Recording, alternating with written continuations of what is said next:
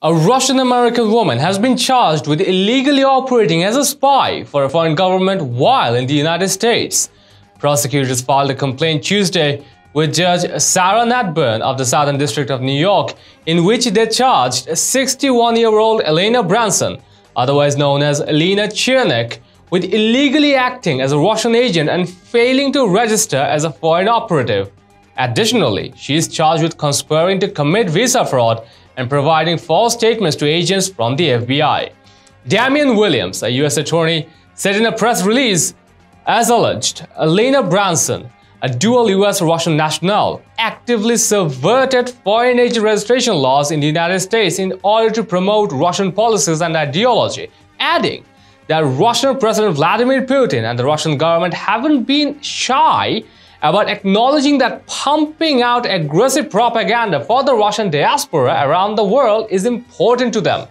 According to the complaint, in or around 2011, Branson began working as an agent of a foreign government, specifically the Russian Federation.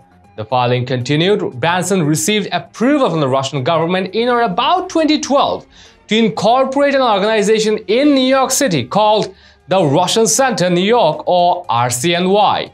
The RCNY became a Russian propaganda center, with Branson using the organization to arrange a campaign to lobby government officials in Hawaii to not change the name of a Russian fort, according to the complaint.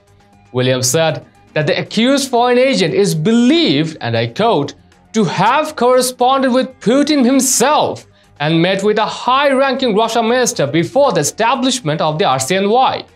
According to the complaint, Branson also made false statements to the FBI around September 29, 2020, in which she, and I quote again, knowingly and willfully falsified, concealed, and covered up her alleged illegal actions by using false statements.